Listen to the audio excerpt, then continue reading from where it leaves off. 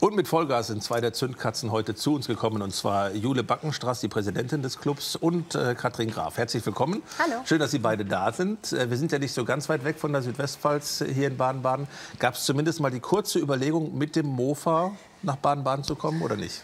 Die hätte es bestimmt gegeben, aber wir sind heute aus Köln direkt angereist. Das wäre zu weit gewesen. Mit 25 km/h, da wäre man ja zehn Stunden unterwegs gewesen oder sogar noch länger. Noch länger. Noch länger. Ja. Okay, warum in Köln? Äh, Wir waren auf der Intermod, das ist eine internationale Motorradmesse.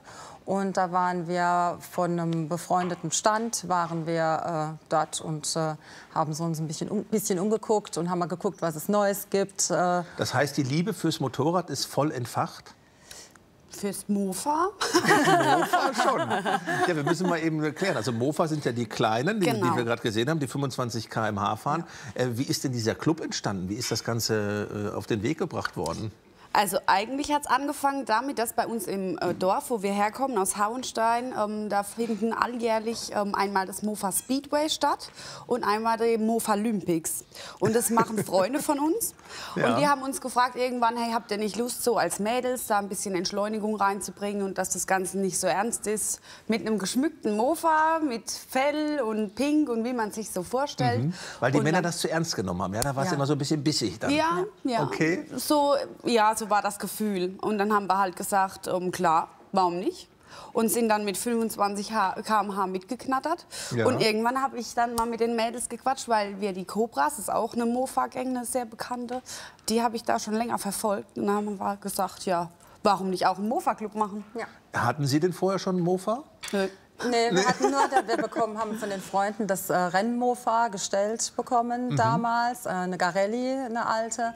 Und äh, die haben wir dann halt äh, richtig girly-mäßig geschmückt, äh, mit pinken Girlanden und einem pinken Fell um den Tank. Und wir selbst haben dann auch ein, ein pinkes Tütü angezogen, damit das halt... Äh, Auf die Spitze getrieben Genau, so, also ja. richtig überzogen. Und da gibt es auch ganz witzige Bilder. Da, da gibt es am Anfang immer so ein Le Mans statt.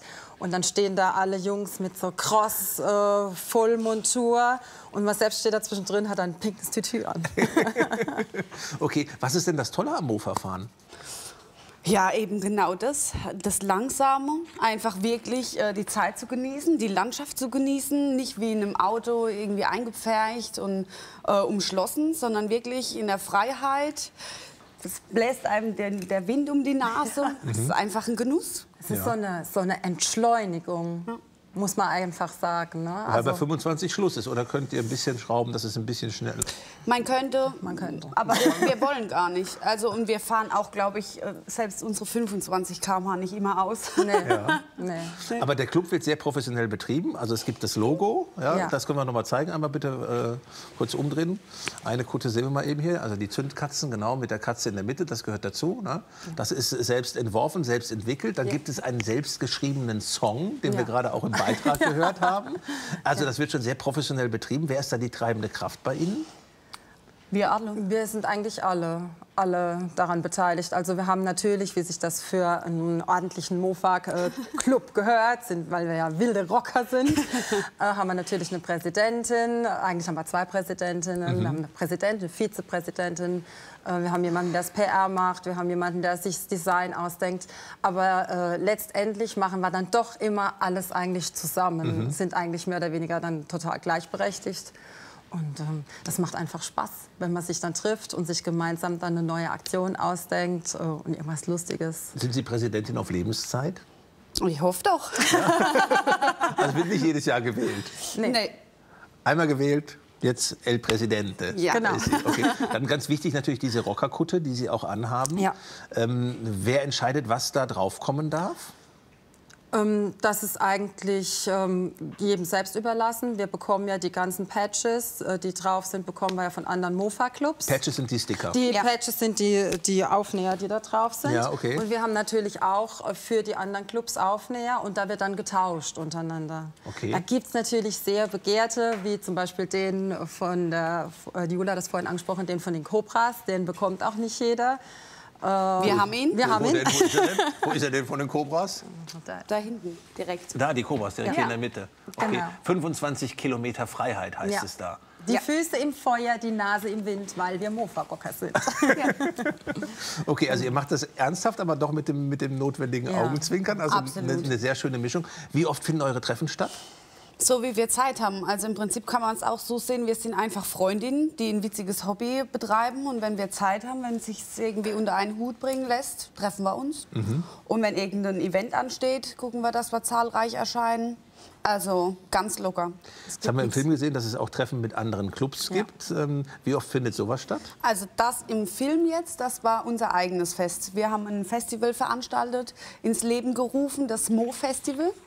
Und ähm, wir haben eingeladen und so findet es auch immer wieder statt. Also die ganzen Clubs, die es so gibt, betreiben einfach irgendwie dann ähm, oder erfinden ein Event und dann wird eingeladen. Ja. Also die Initiative, so in die Mofa-Welt einzusteigen, die kam von den Männern, wenn ich das jetzt richtig verstanden habe. Wie reagieren denn jetzt die Männer auf den Mofa-Club der Frauen?